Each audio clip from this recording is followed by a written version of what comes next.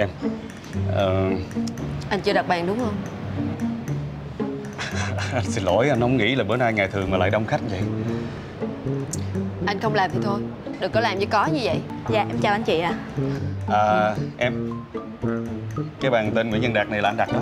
À, Dạ đúng rồi. Dạ anh chị đi hai người phải không ạ? Ừ. Dạ em mời hai anh chị ạ. Cái USB đâu? Mau đưa ra đây USB gì anh? Thiệt tình tôi có biết cái USB nào đâu.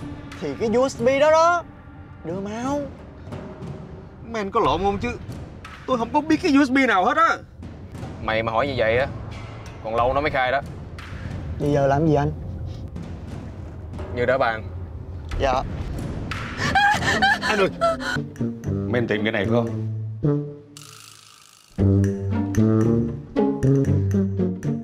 Mở máy lên Anh biết là suốt thời gian vừa qua á, Vợ buồn vợ giận anh lắm. Bởi vì Anh không có dành nhiều thời gian quan tâm đến vợ. Nhưng mà mong vợ hiểu cho anh.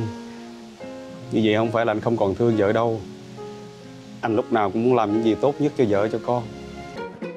Cái quái gì đi hả?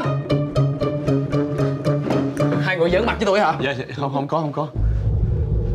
Quà bất ngờ em muốn dành cho vợ em bây giờ cái usb à, ờ, ờ, ờ, em mình đã làm gì buông tôi ra.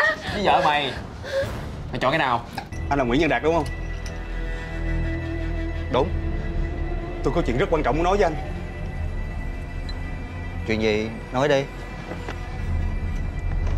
Anh đang giữ cái usb bí mật gì đó phải không?